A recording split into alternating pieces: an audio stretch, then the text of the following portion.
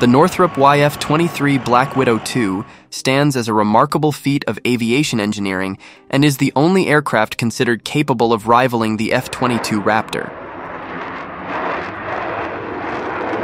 Designed as part of the U.S. Air Force's Advanced Tactical Fighter ATF program, the YF-23 was a finalist in a competition against the Lockheed YF-22.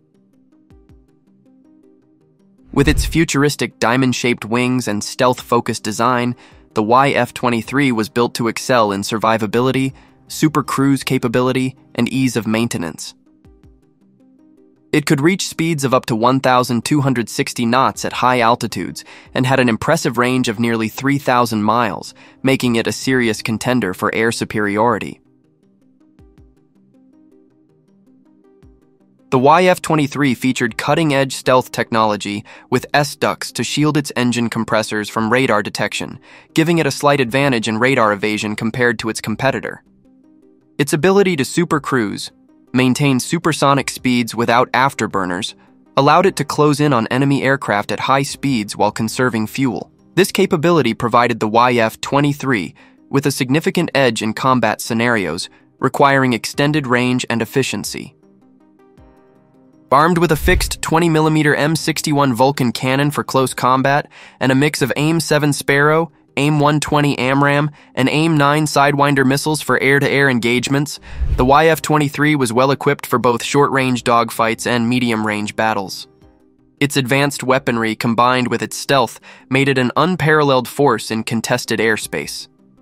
The aircraft first took to the skies on October 27, 1990, piloted by Northrop test pilot Jim Sandberg.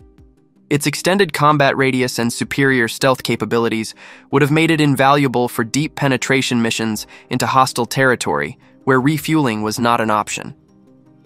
These features remain highly relevant today as militaries seek ways to extend the operational range of their fighter fleets.